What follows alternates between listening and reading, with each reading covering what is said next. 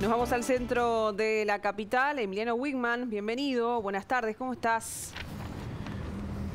¿Cómo estás, Rosario? Buenas tardes para ti, para Miguel, para todos los compañeros y para todos los televidentes. Ustedes algo ya adelantaron. El resultado no convenció a todos, el resultado de Uruguay ante Portugal, pero aquí en la Intendencia de Montevideo de todas maneras se vivió una fiesta. Ya van a ver en minutos nada más las imágenes de Guillermo Penino que estuvo trabajando durante toda la tarde. Pero si les parece vamos a compartir las sensaciones de los uruguayos. Hablaron del maestro Tavares, hablaron de esperar al viernes, pero hubo una palabra que se repitió muchísimo, que fue calculadora. Vamos a escucharlas. La verdad que jugó muy bien, dieron lo mejor. Sí, hay ¿Qué faltó? adelante. Una combinación que me gustaría haberla dicho, que estaría bueno que Cavani, Rascaeta y Suárez adelante, pero está.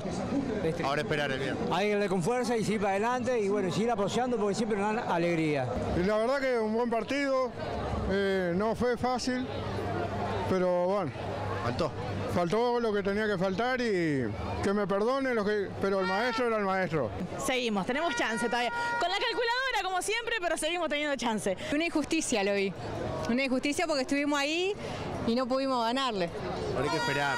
Y ahora, como siempre, sufriendo a lo último, pero bueno, vamos arriba, siempre. Muy, muy bien el primer tiempo. Eh, estuvimos ahí. Estuvimos ahí. Te viniste pronto, bandera, camiseta. Sí. Sí, pero me divertí y vamos, vamos arriba Uruguay.